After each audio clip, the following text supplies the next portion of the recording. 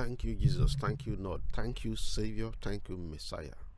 Thank you, Christ. Thank you, Holy Spirit, the Spirit of truth, the Spirit of life, the revealer of mysteries. Thank you, Father. Thank you, Creator. Thank you for making us today. Take all glory. Take all praises. You are the God that deserves to be worshipped. We exalt you today. We worship you.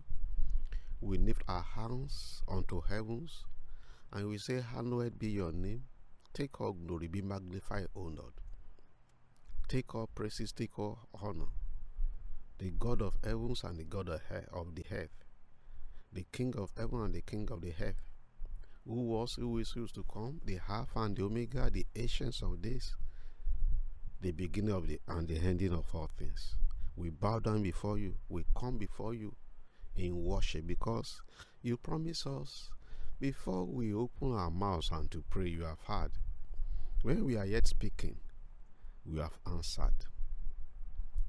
As many prayers we are going to say in the next few minutes, thank you because you have heard us and you have answered us in the mighty name of Jesus Christ. As many prayers we are going to say today that your children are saying even in their hearts, the secret prayers, the prayers that they have been saying for years, today we stand upon your word and we say, You have heard your prayers and you have answered us in Jesus' mighty name. This is Morning Cry coming to you from Save the World Christian Ministry, a ministry with a divine mandate to set the captives free and give sight to the blind by the power in the mighty name of Jesus Christ. My name is Dr. Babatope Babalobi. And Genesis chapter 9, verse 9 says, Behold, I establish my covenant with you and with your seed after you. We serve a God of covenants. God rejoices in covenants because God wants a relationship. And one of the ways he can be assured of a relationship is to have a covenant with, with you. God doesn't like loneliness, just like human beings don't like loneliness. God doesn't like loneliness. He created man, He created woman for fellowship, to have a relationship, and for Him to be sure that this person will not cheat me, so to say, this person will not abandon me, this person will not cheat me. He establishes covenant with people.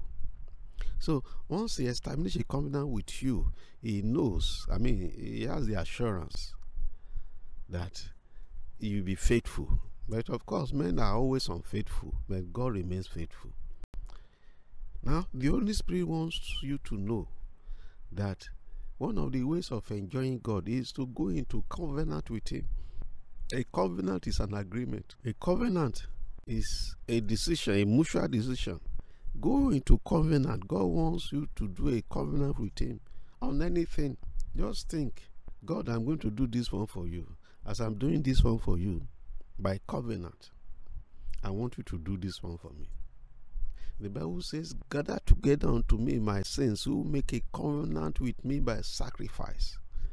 So God has initiated several covenants. Today, initiate a covenant with God. Let the Spirit of God decide for you. And it's not only about money, although money is good. It's not only about money, it's about what do you want to do for God? How do you want to serve God? How do you want to, to remain holy and righteous? Make a covenant. We serve a God of covenant. He, he likes covenant. He rejoices in covenant. And the truth is that from time to time, God Himself will make covenants with you. There's some covenants He has made with me. He has told me I will never be stranded. He has told me I will always have money. He always provide for me. He has told me you always provide for me. He has, oh, he has told me you always protect me. There are some, some some covenants. He has told me I will be wise and I will live long. So when I remember those covenants, I'm not afraid of poverty. I'm not afraid of sudden death. I'm not afraid of of evil attack because this is God Himself that has told me that you, Baba you will not die young. You will live old. So today, make a covenant with God as you step out. And one way of provoking God to make a covenant with Him is by loving Him, by fearing Him, by serving Him. I pronounce you a child of covenant in the mighty name of Jesus Christ. Receive the covenant of long life. Receive the covenant of divine protection. Receive the covenant of divine provision. In the mighty name of Jesus Christ, receive the covenant of thou shalt not be barren. Receive the covenant of favor. Receive the covenant of fruitfulness. In the mighty name of Jesus Christ. You a child of covenant, you shall walk in covenant. And the good thing about covenant is that it lasts unto generations.